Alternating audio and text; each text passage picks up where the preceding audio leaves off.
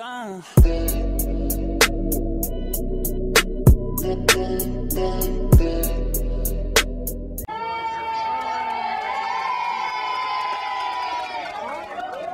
Queen invited Princess Diana to banquet after separation, and it made royals furious.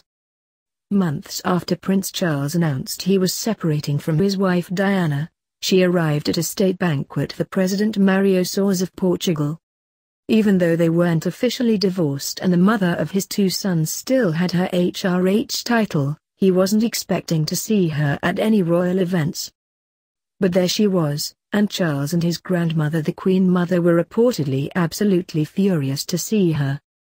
The invitation came from the Queen, who didn't tell any of her family that she would be there before the event itself, reports the Daily Mail. And her reason for including her daughter-in-law is actually rather sad. She believed that despite their differences there was a chance that Diana and Charles would get back together. The Queen also invited Diana to Sandringham for Christmas in 1993, a year after their split.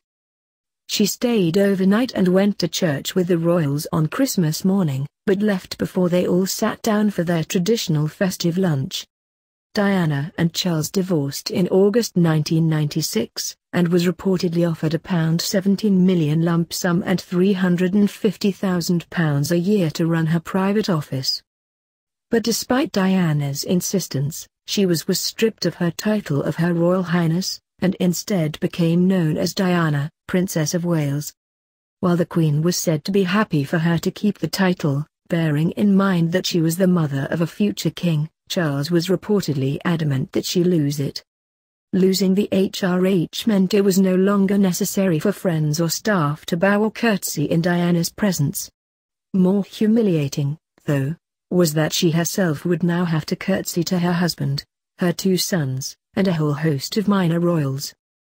Princess Diana joined other members of the royal family at a state banquet at Buckingham Palace for President Mario Soares of Portugal.